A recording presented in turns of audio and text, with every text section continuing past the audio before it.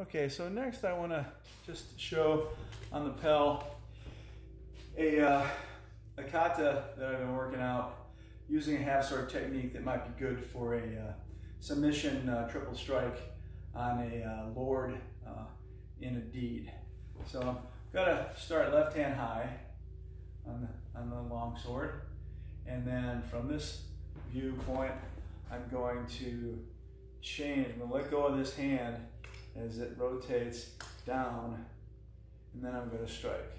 So on the pell, I'm gonna come here and this is gonna be used either as a block or it's gonna be used to grab your opponent's long weapon and if you can imagine it's up in here as we, as we engage and enter and, and pull it down. So now it's pulled it down here, thrust into an armpit for a kill, draw it past into a face or a chest for a kill, or more importantly for the deed, control, strike, strike, strike.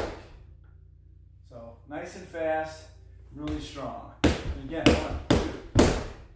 Okay, nice and fast, three count.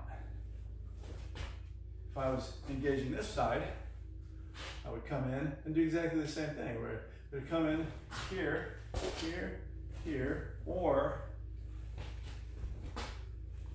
here, one,